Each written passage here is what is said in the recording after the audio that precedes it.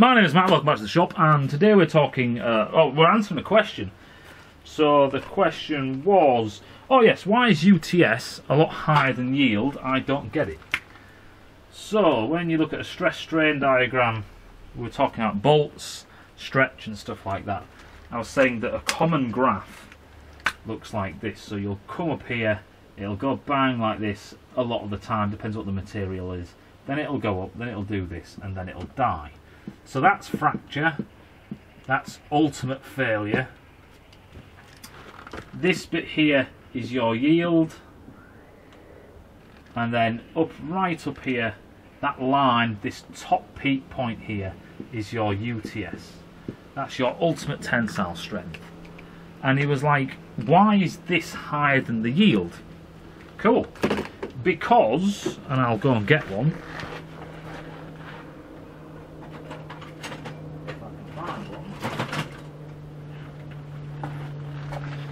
because that there has yielded to the point where it's gone 180 on itself.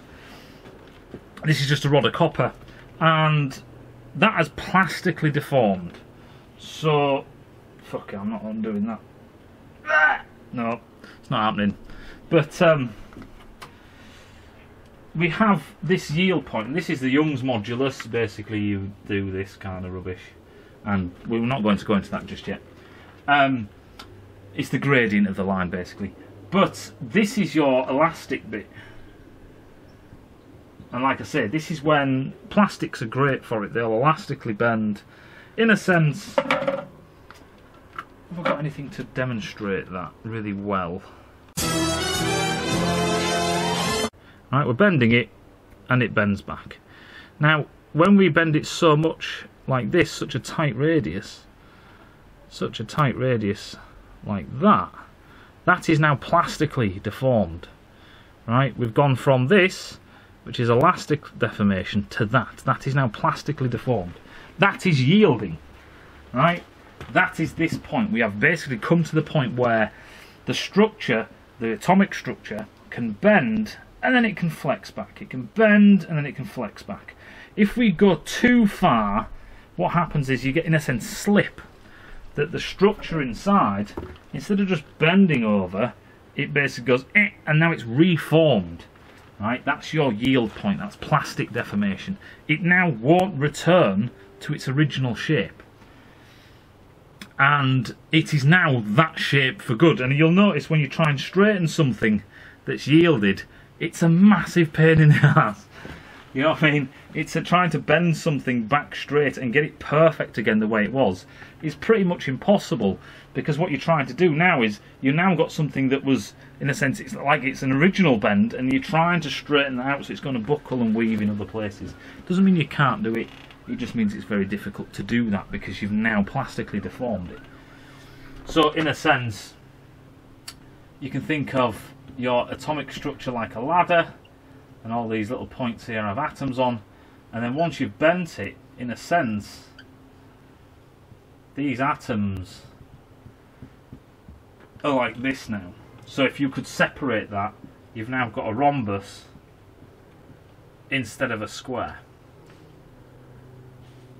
So there'll become a point and that's the yield point where it just goes and it collapses over and then she's stuck that way. She's now stuck this way you know what I mean? And it's all to do with the interaction between the bonds. They're all happy like this, and now they're now they're now in a triangulation shape, and they're happy like that. It's a state change. They basically are now. This is a. It's when when you've got when we when you've got a square crystalline structure like this, a cubic structure, you can bend it, but it's you need to, the force is required to hold it like that. So when you let go of it, the atoms go back to their lowest energy state. This is a low energy state.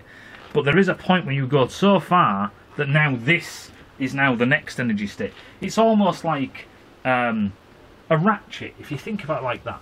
It's like a ratchet where you can have teeth on a ramp.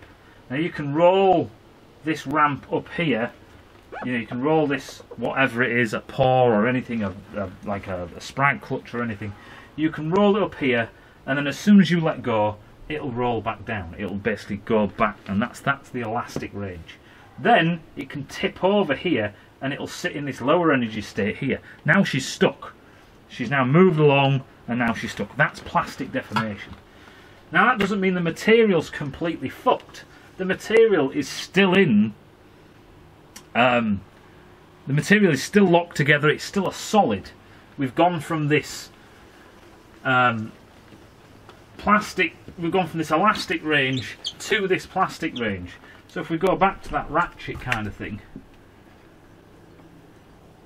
like this, we've pushed it over this hill and she's fallen into here. Right? Now, our other atom is here. So we're either here, here, it's getting a bit weak, and then we're here again.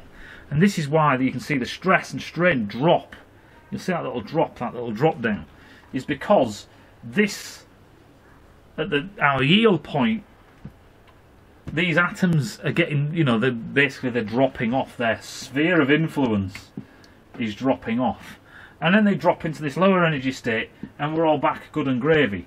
But if we go all the way up to here, and this is our UTS, once we drop down off this, we're too far away. We're too out of our sphere of influence is that's it, it's broken, it snaps. And if you push it any further out of that sphere of influence, she's just hanging on there. After that, it all turns to shit. Any road, hope that makes sense, and I'll see you in a bit.